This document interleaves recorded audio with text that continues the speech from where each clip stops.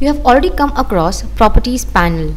Here you can see the publish option and properties of the stage.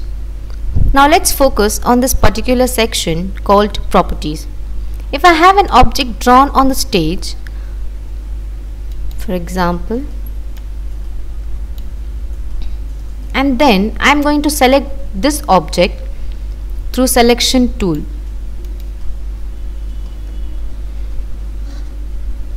This will be displayed in my properties panel as drawing object. Here you can see width, height, xy position of that particular object. It also has fill and stroke where you can change the settings or size of the stroke. Let's delete this object by selecting it.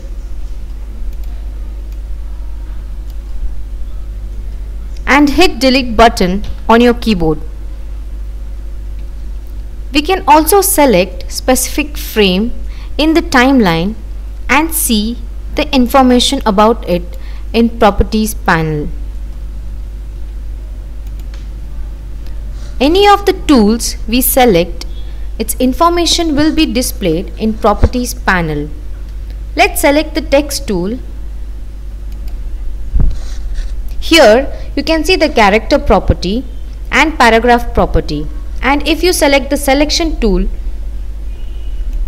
then that doesn't actually have any property. Let me choose the brush tool.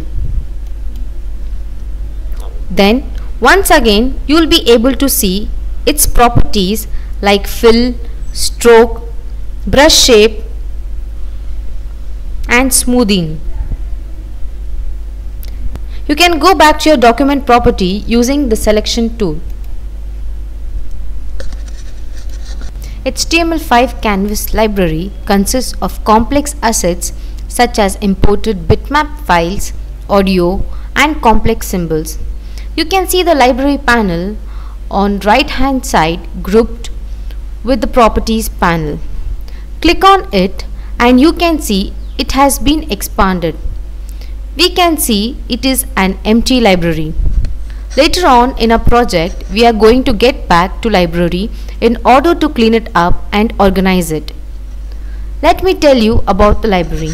First thing, any shapes that you draw on the stage will not be present in the library. For example, let me select the pentagon and draw it on the stage. This doesn't appear in the library. It is only on the stage. However, if I had to import images, audio files into my project or even create complex symbols like movie clip or graphic symbols, then these would all exist in my project library. Libraries are an important aspect to any animate project, but they should be organized well and be used effectively. Hey guys, thank you for watching and stay tuned for more videos and please do subscribe Native Brains.